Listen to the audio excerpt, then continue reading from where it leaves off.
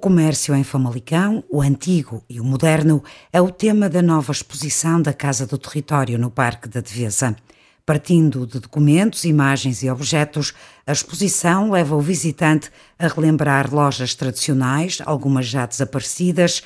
e outras que ainda permanecem em funcionamento, mas também o comércio contemporâneo criado com o apoio do projeto municipal Famalicão in. Uma exposição que deve ser vista por todos os, os famalicenses, porque de facto retrata aquilo que é a nossa história, o presente e o futuro do comércio, o comércio urbano de Vila Nova de Famalicão. Dado que estamos a atravessar um momento muito desafiante eh, em todas as áreas económicas, mas nomeadamente o comércio, há aqui algumas oportunidades para o comércio e, portanto, julgamos que esta exposição também pode, de alguma forma, ser um marco decisivo para que o nosso comércio, por um lado, se possa adaptar àquilo que é esta, estas circunstâncias atuais e, por outro lado, para que os famalicenses e não só possam visitar a nossa exposição e as nossas lojas no centro urbano.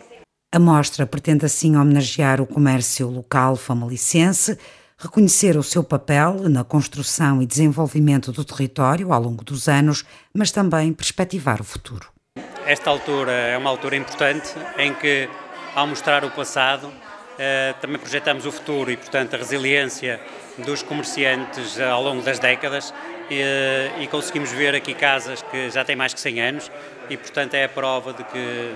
com vontade, com capacidade de sacrifício, que eu acho que é muito importante, com esforço conseguimos atingir o objetivo. E o objetivo é permanecer viva a história, mas também termos a capacidade de modernizar o comércio e conseguir atingir cada vez mais públicos e termos uh, a possibilidade de proporcionar bem-estar à cidade. Esta segunda-feira, a cerimónia de inauguração contou com a presença de alguns comerciantes das lojas retratadas que não esconderam a emoção um orgulho imenso ver ali a história do, meu bisavô, uh, que estava ali num noticiário do jornal.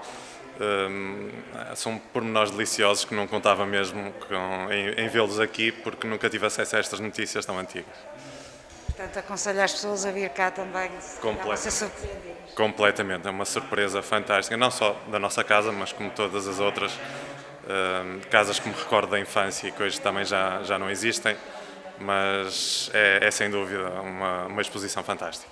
A exposição Comércio, Tradição e Modernidade vai estar patente até julho de 2021. A entrada é livre e gratuita.